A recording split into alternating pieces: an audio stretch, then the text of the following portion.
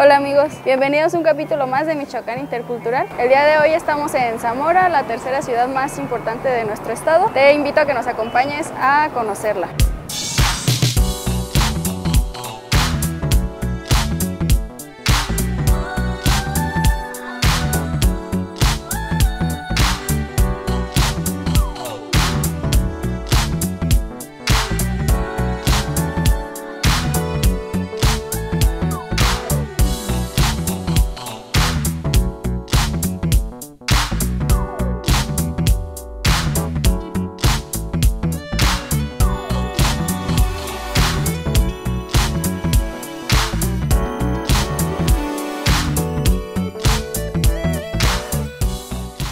Amigos, ¿sabían que el santuario guadalupano cuenta con las torres más altas de México, con aproximadamente 107 metros de altura y está inspirada en el tipo de construcción neogótico? Acompáñame a seguir conociendo. Ahora vamos al centro histórico a ver si encontramos algo de comer.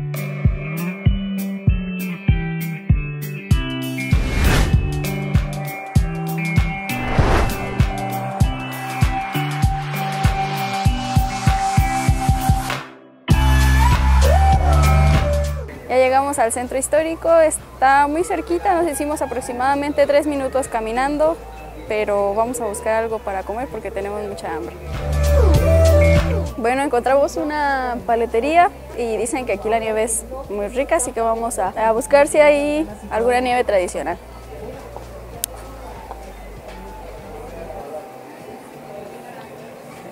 Hola. Buenas tardes. Buenas tardes. Eh, tengo de capuchino, cereza, uva, vainilla, fresas con crema. A ver, déjame probar la de chongos. No, dame una de chongos. ¿No hay chongos en Sí. vaso o barquillo? Barquillo, ¿me puedes decir qué son los chongos?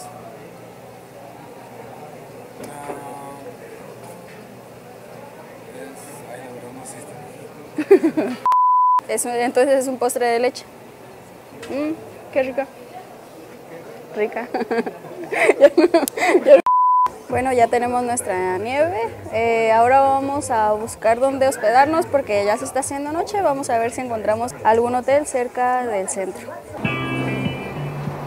Bueno, hemos caminado aproximadamente 10 minutos y encontramos un hotel, el Hotel México. Eh, vamos a ver cuánto nos gastamos y una vez en la habitación hacemos un conteo para ver cuánto nos hemos gastado durante el día.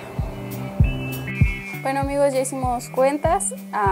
Por tres personas nos gastamos 300 pesos en gasolina desde Morelia, es 180 pesos en comida, 60 pesos en el postre y 900 pesos en hospedaje. Todo esto al final son 1.440 pesos, que al dividirlos por persona son 480 pesos. Bueno amigos, vamos a descansar.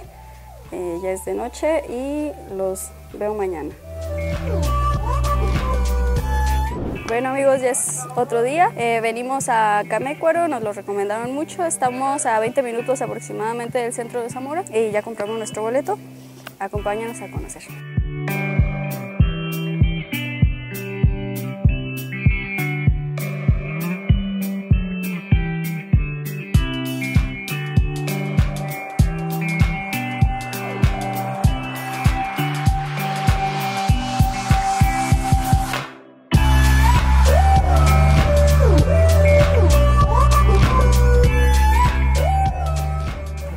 Estamos dentro, vamos a ver qué actividades se hacen aquí. Vamos a preguntar el precio de las lanchitas para conocer más. Bueno, estamos con el señor Rogelio que nos va a explicar qué actividad se puede hacer, los precios de las lanchitas para que puedan venir a visitar. Aquí el costo de la lancha le sale en 200 pesos la hora cuando la reman solos, que son las lanchas destapadas. Ajá. Y si lo lleva el remador, es un paseo, un recorrido al lago de 30 a 35 minutos y le salen 250. Muy bien. Lo que se recorre es como un kilómetro. Y la, actividad, otra actividad que pueden hacer también es nadar lo que es en todo el lago. Nada más que eh, la parte, parte profunda estamos entre 6 y 8 metros, la parte más honda. Ajá. Y ahí pueden nadar bajo responsabilidad de cada quien.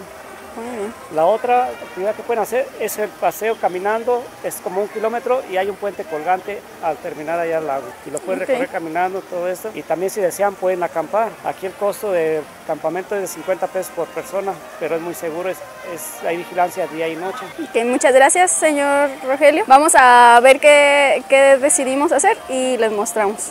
Muy bien. Bueno, esta vez decidimos caminar, hacer el recorrido caminando porque tenemos poco presupuesto, pero ya vieron ustedes los precios de las lanchas para que cuando vengan puedan dar paseo en lancha.